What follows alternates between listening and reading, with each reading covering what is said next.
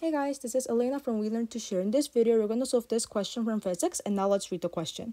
A 50 kilogram athlete running at speed v grabs a light rope that hangs from a 10 meter high platform and swings to a maximum of 1.8 meter above the ground. So we can see that there is an athlete with a speed v, 50 kilograms, and then he is running like in this situation.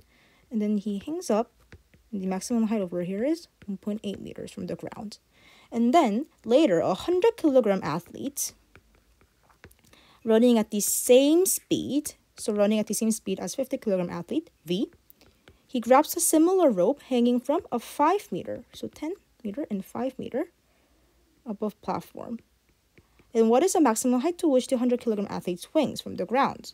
Okay, so in this situation, we can actually use the energy of con the conservation of energy.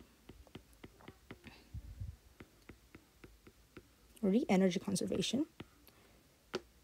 Okay, um, because an athlete swinging can be considered as a pendulum we know that the pendulum's maximum height is the point at which it changes direction, so probably over here, which means the velocity is equal to zero. And in this point, for the mechanical energy conservation, all this kinetic energy over here is transformed to the potential energy in the maximum height points. Similarly, when the pendulum is at its resting position, so when the athlete grabs the rope over here, then its energy is totally kinetic. And therefore, because there would be the conservation of energy in this situation, we can say that 1 over 2 mv1 square, which is the kinetic energy, is equal to mgh max, which is the potential energy. And in this case, if we solve for h, we're going to have canceling out m and 2g and v1 square on the top.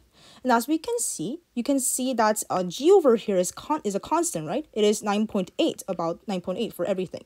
And the only thing that could possibly change or affect h max, the height, is the v1 square, which is the initial speed of the athlete that is running towards this rope. But in this case, as we can see from the question, it is given that the 100 kilogram athlete uh, runs at the same speed with the 50 kilogram athlete.